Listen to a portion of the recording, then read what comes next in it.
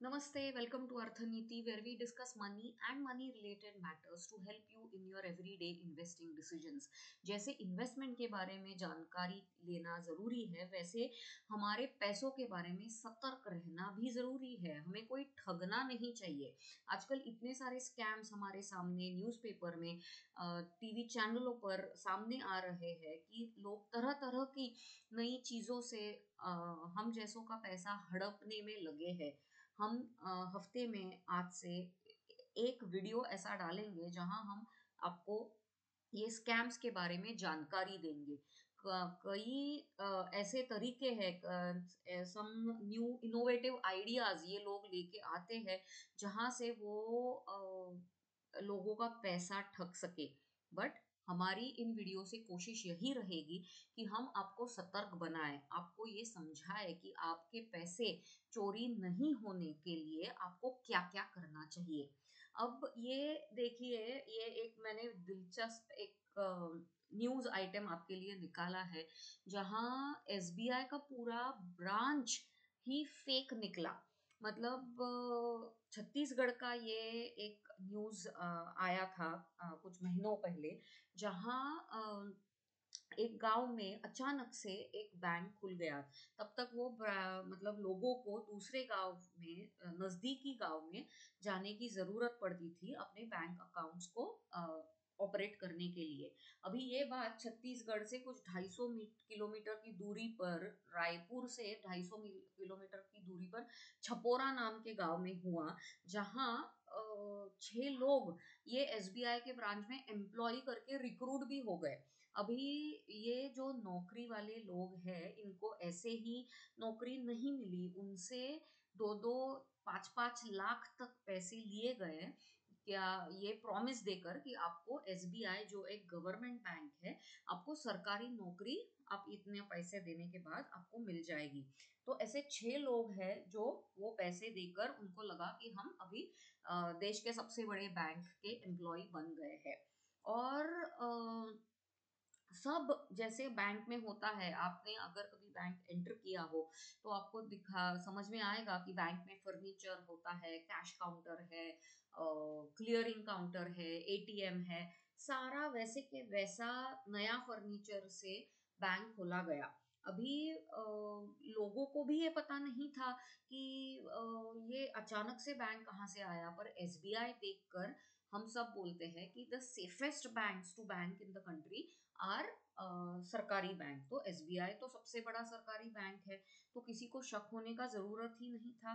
लोग वहाँ आने लगे अकाउंट खोलने लगे और कामकाज चल रहा था। पर नज़दीक का जो दबरा नाम का जो गाँव था, वहाँ के मैनेजर से एक आदमी ने शिकायत की।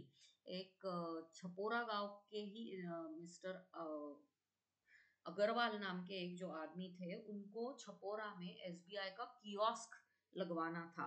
इसीलिए वो दबरा ब्रांच से अपनी रिक्वेस्ट या फॉर्म लेकर जाते थे। अचानक से अपने गाँव में बैंक खुल गया। ये देखकर उन्होंने दबरा ब्रांच के मैनेजर को शिकायत कर दी।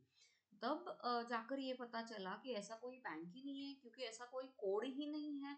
हर एक ब्रांच का एक अलग कोड होता है, जो अपने चेक्स पर लिखा जाता है। जो ब्रांच आप जाएँगे, तब वहाँ भी आपको दिखाई देगा। ब्रांच में ओम्बुड्समन मतलब एक सरकारी आरबीआई ने अपॉइंट किया हुआ एक ओम्बुड्समन उसका भी डिटेल्स होना ज़रूरी है।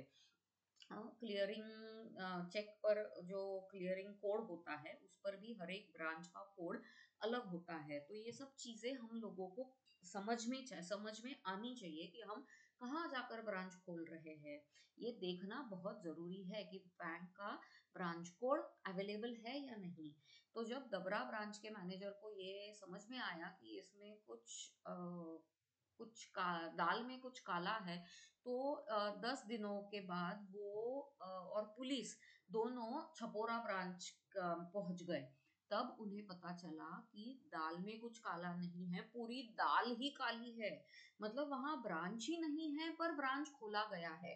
अभी चार मास्टरमाइंड पुलिस ने अब तक पकड़े हैं, जिन्होंने ये छह एम्प्लॉयज़ जो एम्प्लॉय किए थे, उनसे ढाई लाख से लेकर पाँच या छः लाख तक रुपए लिए थे। उनको बाकायदा अपॉइंटमेंट लेटर दिया गया, उनका ट्रेनिंग हुआ सब एकदम जैसे ब्रांच में होता है वैसे ही सब हुआ। और आ, उनको अभी पकड़ा गया है और दस दिनों ये देखिए ये एक लेटर अपॉइंटमेंट लेटर जो वो एम्प्लॉयज़ को दिया गया। देखिए एसबीआई का लोगो है State Bank of India central recruitment Mumbai phone number है एड्रेस है। मतलब आप देखो ये लेटर देख के स्टैम्प है। ये लेटर देख के किसी को भी ऐसे नहीं लगेगा कि भाई साहब ये कुछ गलत है ये सही नहीं है पर ऐसा हुआ है और लोगों को ऐसे नौकरी दी गई है। अभी आ, दस दिनों में ही आ, ये पूरा मामला आ, पुलिस के सामने आ गया इसलिए छपोरा गाँव के लोग बच गए। वरना जस्ट इमेजिन लोग वहाँ जाते अकाउंट खोलते पैसा डिपॉजिट करने लगते आ, आ, लोन की अर्जी दे देते। पर लोगों का पैसा तो जैसे वो छह एम्प्लॉयज़ का हड़प हो गया वैसे लोगों का भी पैसा हड़प ही हो जाता। तो अगर आपके यहाँ ब्रांच खुलता है किसी बैंक का, आप शहर में रहते हो या गाँव में रहते हो, आपको कुछ चीज़ें देखना ज़रूरी है। आपको बैंक का, आजकल हमारे पास मोबाइल और इंटरनेट बहुत इजीली अवेलेबल है। आप वो बैंक के वेबसाइट पे जाके देखो, ब्रांच नेटवर्क में आपके यहाँ खुले हुए ब्रांच का नाम है क्या? आप वहाँ मेंशनड है क्या? न्यूज़ पेपर में कहीं आया है क्या कि ये नया ब्रांच खुल रहा है? आ, उसका न्यूज़ आइटम कहीं आया है क्या? ये देखो ब्रांच का कोड क्या है? ये जाकर देखो ब्रांच में। आपके आ, मतलब डिपॉजिट स्लिप पे क्लियर चेक पे ब्रांच का कोड मेंशन है क्या? ओम्बुड्समन का नाम कुछ आ, फ्रेम ऐसा लगाया गया है, क्या ये सब चीज़ें देखना बहुत ज़रूरी है?